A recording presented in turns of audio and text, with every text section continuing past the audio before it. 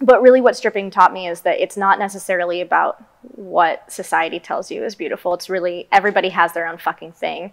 Um, and it's finding your audience that really matters. So when you start to be more comfortable in not giving a shit if someone doesn't like you because that's cool. These 20 dudes do. Or like that girl's fine with me like you don't care as much and you're more comfortable in your own skin because you're not looking for that validation from someone else because you already know that not only can you find it in yourself, you have it from those people and that person and like that guy over there who just walked by and like it's not from the person in front of you. You're more free to be who you are. At least I'm more free to be who I am and just be very upfront about that and so I'm more comfortable while I'm having sex or when I'm flirting or like randomly starting dance parties at a bar. Like, totally mm-hmm. fine with all of those things now.